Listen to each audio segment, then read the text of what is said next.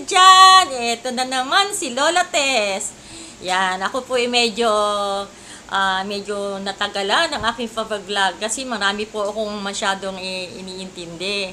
Ah, yung nga po, naabot pa tayo ng bagyo. Medyo ina... Malakas po ba ang bagyo sa inyo? Sa inyong lugar? Binaharin ho ba kayo? Eh dito po sa amin eh, mataas po ang baha pero awa po ng Diyos eh hindi naman po pumasok sa loob ng bahay namin. Doon lang po sa labasan. Ah, talagang napakalakas po. Ano po? Ang hangin niya talagang halos sa sabi nga nung baby namin eh. Oo, oo, kasi po talagang humuhugong po yung hangin.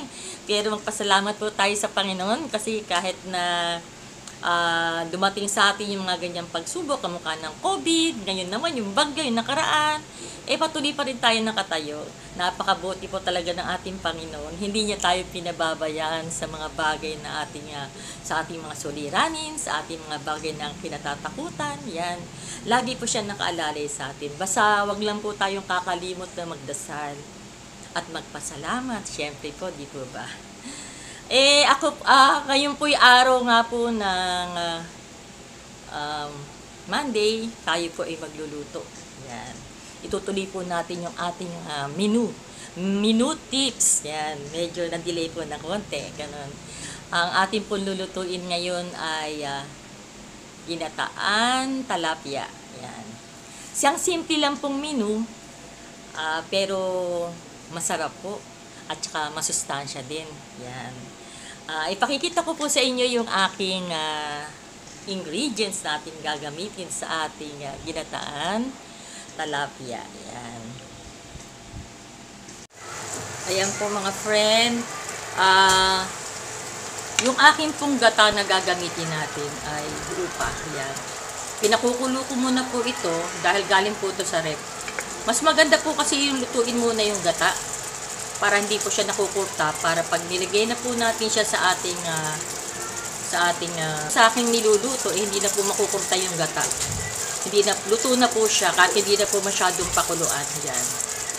Kaysa po galing po sa ref yan tinunaw ko na rin po at para nasa ganun eh maluto na rin ayan ganyan po ito po yung ating ingredients sa ating gagawing ginataan na talapia. Ito po. Minarinate ko na po siya. Nilagyan ko na po siya sa, ng asin. Yan. Para pagka ipa-fried ko po kasi siya ng konti, nasa ganun, ay meron na po siyang lasa. At ngayon, ito po yung aking pinakuluan na gata. Luto na po siya.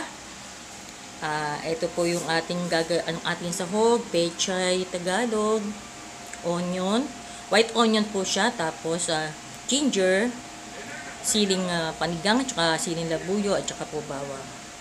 So, yan lang po ang ating ingredients sa ating uh, ginataan na talapia. Gagamit rin po tayo ng asin, patis, paminta. Depende na po sa inyo kung ano po ang timpla na timplada na gagamitin nyo. Kung ganun karami, ganun. Depende na po sa panlasa nyo. Halina po tayo po ay mag-umpisa na magluto. Yan po, sinalang na po natin ang ating uh, wale. Yan.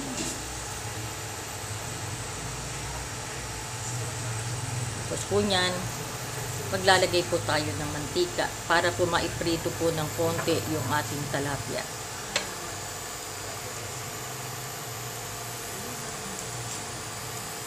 Kailangan medyo madami-dami po ng konti ang ating mantika.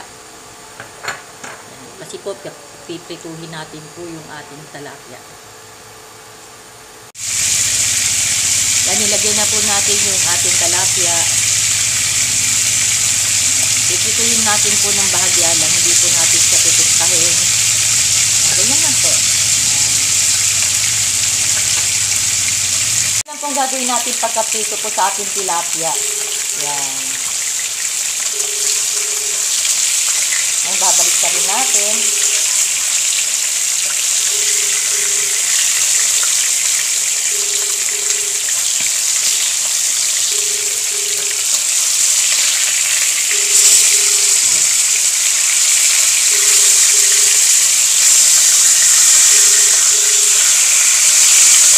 Yan, ganyan po. Patay mo muna. Ayan po, atin na pong hahanguin. Tama na po yung ganitong pagkaprito niya. Yan, lalagyan natin dito sa ating yan. Konti lang pong prito. Ito nga po, medyo batok-batok isang po.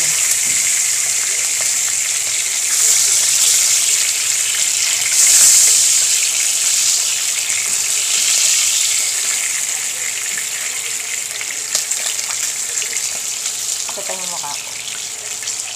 Oh, tignan nyo, gumagamit ako. Malaking, malaking bagay rin pa ang face, shield. Hindi lang po sa, ano to, sa COVID ginagamit, pati din sa pagpiprito. Tama nga po sila. Mahirap nang mapilit, matalamsikan ng mukha.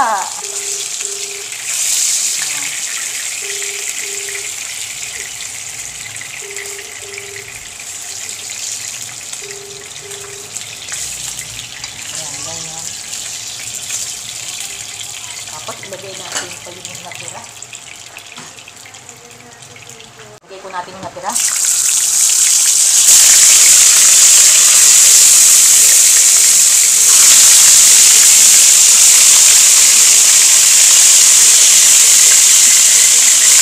At, yan.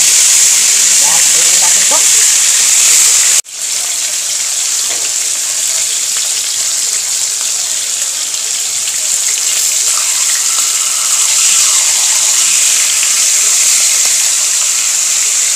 Nahap, nahapok na po siya. Bali, hapok, hapok lang po gagawin natin sa kanya. eh. Ayan. Ganyan lang po gagawin natin. Tapos, pagka ano,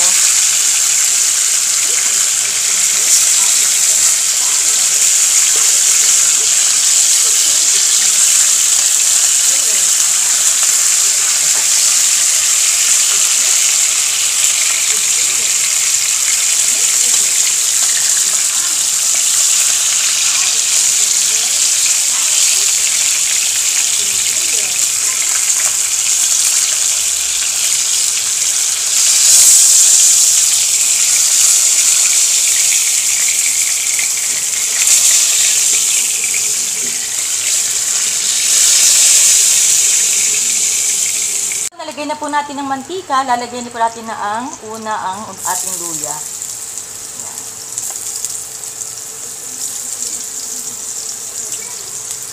Luya.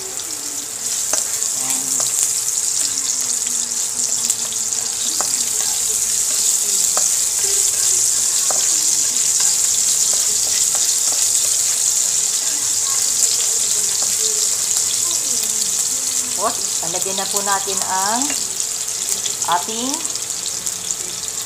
bawang.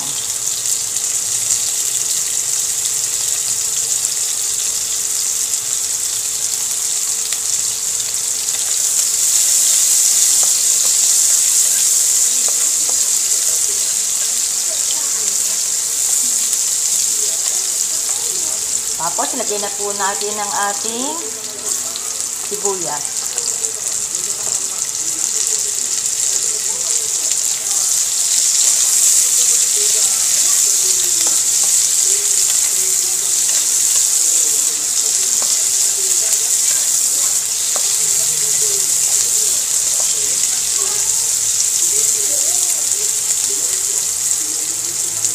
Lagyan po natin yung ating sili.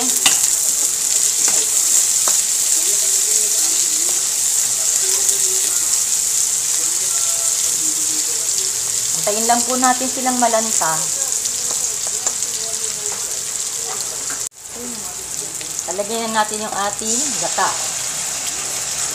Mamaya na yung iba.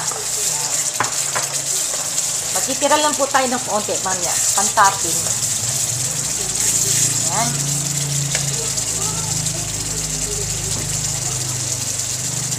Lalagay nga pala tayo ng konting suka. Yan. Huwag muna natin hahaluin, mahihilaw ang suka.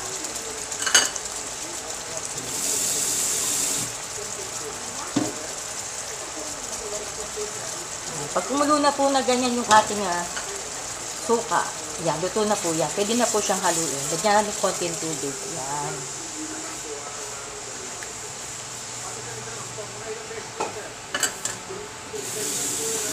Konti pang tubig.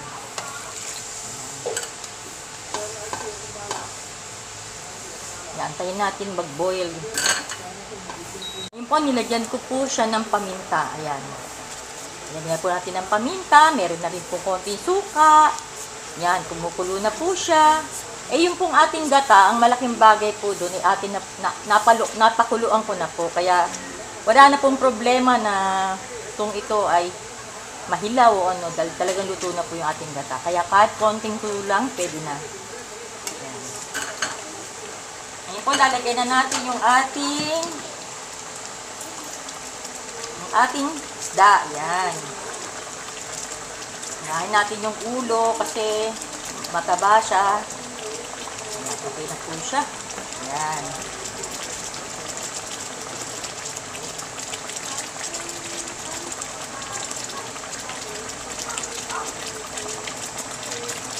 Lagyan natin ang ating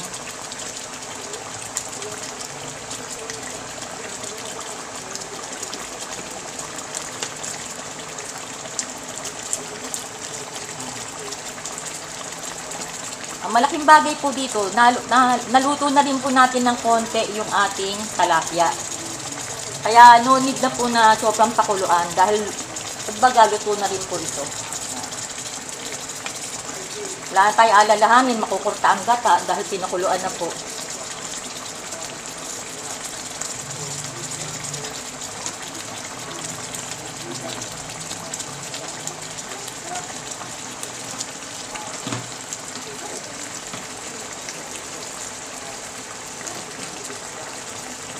Lagyan po natin one, one ano, one spoon na sugar. And then yung pong ating patis yan.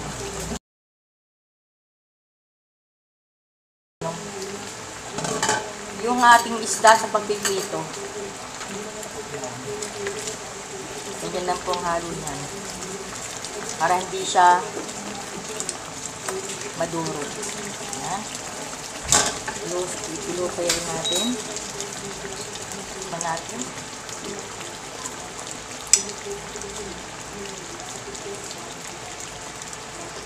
Mhm. Ano po? Ngayon, lagyan natin ng konting tubig.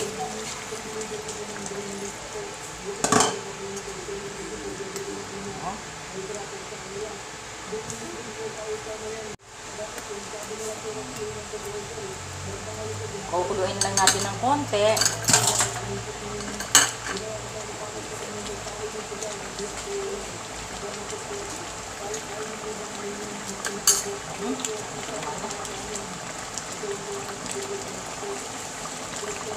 Ngayon, lalagay na po natin yung ating pechay. Naiwan pa ng isang kilo. Ating pechay.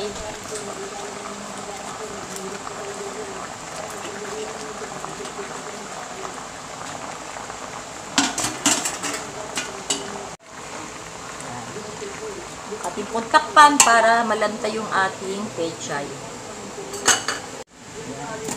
Natin kung ano na siya. Yan, lanta na yung kanyang ano. Lanta na yung kanyang gulay.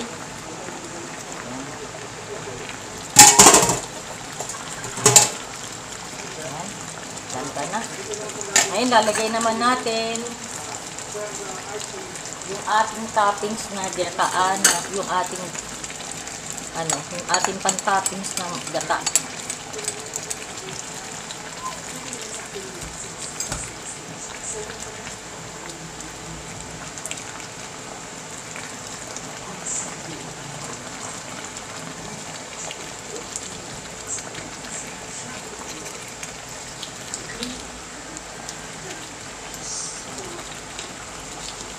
Yan na po yung ating tinataan talapia.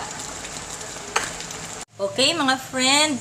Ito na po yung ating finished product sa ating ginataan talapia. Ayan, mga friend. Tapos na tayo magluto. Sana po nagustuhan nyo ang ating menu for today. Yan. O paano po? Hanggang dito na lang po at hanggang sa muli ang inyong Lola Tess. Bye! God bless po sa lahat! Mwah!